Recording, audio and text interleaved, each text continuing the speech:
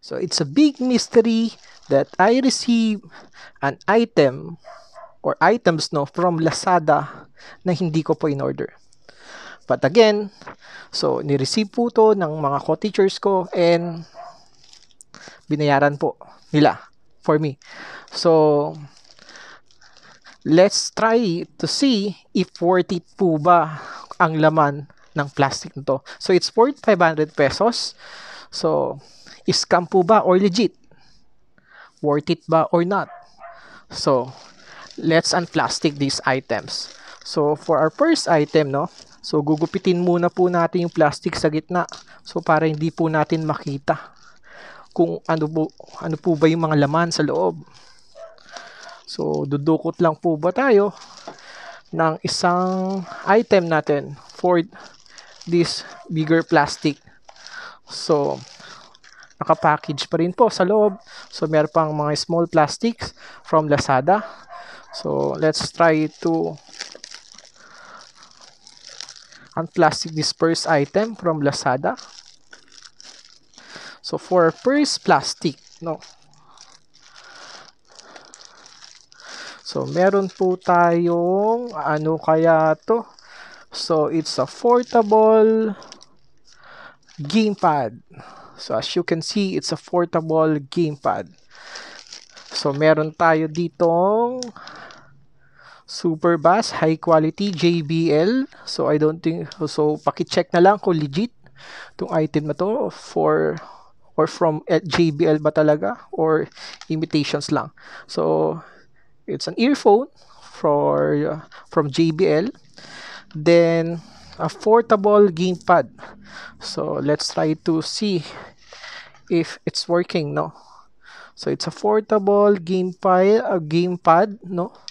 So sa mga mahihilig po mag-ML dyan, so ito po yung gagamitin natin. So, good. So, is it worth it for 99 pesos? So, goods pa po tayo sa first plastic. So, let's go with the second plastic.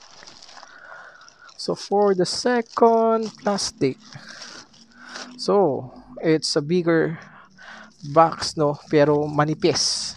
Mas manipis, mas malaki lang yung box, pero mas manipis. So, tingnan po natin kung ano laman ng second box no to. So, for the second box, no? For the second box, So, it's a cable protector. So, as you can see, it's a cable protector for second plastic.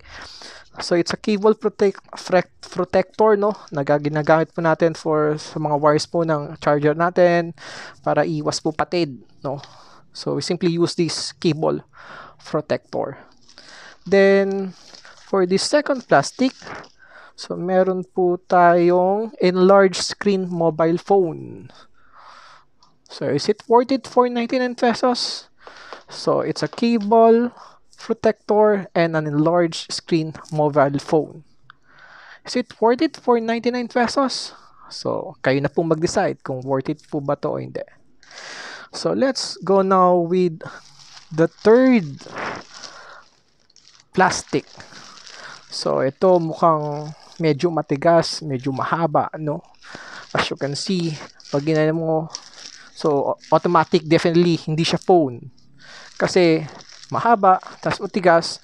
So definitely, so it's something about cable protector na naman. So pag ginamit mo to, it's about cable protector. And I think this is a, a selfie stick. So let's try, no? Kung correct ba yung assumptions natin. So for the third plastic, so sa third plastic natin, yes, no? It's a selfie stick. And again, a cable protector. Now, it's time for you to decide if this is worth it. Worth it po ba for a 99 pesos? A try a selfie stick and a cable protector. Let's go now with the fourth box. So we're going to unbox this one. So for fourth box, no? So, medyo magaan. Kung as you can see, no? Kumakalog-kalog pa. So, automatic definitely, no? Hindi siya cellphone kasi maalog, magaan. So, let's try, no? What's inside? So, again, it's a earphone. But now it's from Realme. So galing po siya sa Realme. I don't think if this is legit from Realme, but actually this is a good item, no? Earphones for Realme. Then for this box, so it's a portable gamepad again. So it's time for you to decide if if this is worth it for a 99 pesos. So it's Realme earphones, no? Earphones for Realme and portable gamepad. So, nakakadalawang portable gamepad na rin po tayo and two earphones from Realme and JBL. So, let's unbox the last or unplastic the last box, no? So, ito medyo mabigat. Hindi ko po alam kung bato to or something na pwedeng pamukpok sa kaaway. So, let's unplastic this one. So, ano po kaya itong medyo mabigat na to? So, tingnan po natin. Tingnan po natin kung ano po ba to. So, it's a microphone stand, no? So, it's nice. It's it's a good item for sa mga nagbo-vlog, sa mga nagla-live stream diyan. So it's a microphone stand. So tingnan natin loob if the if may laman po ba talaga o wala. So here the parts no. As you can see, so meron tayong ito. So meron tayong stand dito to hold yung stick natin for this item. So, I think, ang bigat, no? Akala ko power bank na. So, it's a microphone stand. So, we're going to put this one here. Then, this part is for, to hold the camera, the microphone, no?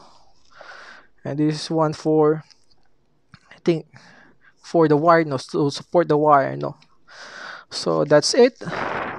So here, let's try to review again. So what's inside are five plastic. So here, so meron tayo ditong microphone stand. Then selfie stick. Then we have two uh, earphones, no? Earphones from uh, JBL and Realme. So, meron po tayong dalawang earphones dyan for real, from Realme and JBL. And two, uh, I mean, this one. So, meron tayong two portable gamepads. So, sa mga nag-ML dyan, so we're going to give this two uh, portable gamepads if gusto po nila at meron pong kukuha. So, pamibigay lang po natin to. Then, Another item is the enlarged screen mobile phone. So, it's good, no? Sa mga bata, sa mga manonood po ng movies. So, this will be a enlarged screen mobile phone. And, lastly, no? So, meron po tayo ditong two uh, keyboard protectors na nakuha. So, it's, it's time for you to decide now if that is worth it. So it is a, a mystery plastic and it's worth 500 pesos. Is it worth it or not? So ikaw na pong mag-decide kung worth it or not, legit or scam. So I think this is less than 500 pesos. So, medyo lugi-lugi po tayo sa part na yon, no? If we're going to pay this one and it's worth 500 pesos, no? Then, lugi po tayo. I think this one is for only 20 30 pesos to 50 pesos no if we have two that, that is only uh, 100 pesos this one is for 40 pesos I don't think so that these earphones are legit, no? So therefore, you can assume that those stops, no, these items are not worth uh, 500 pesos.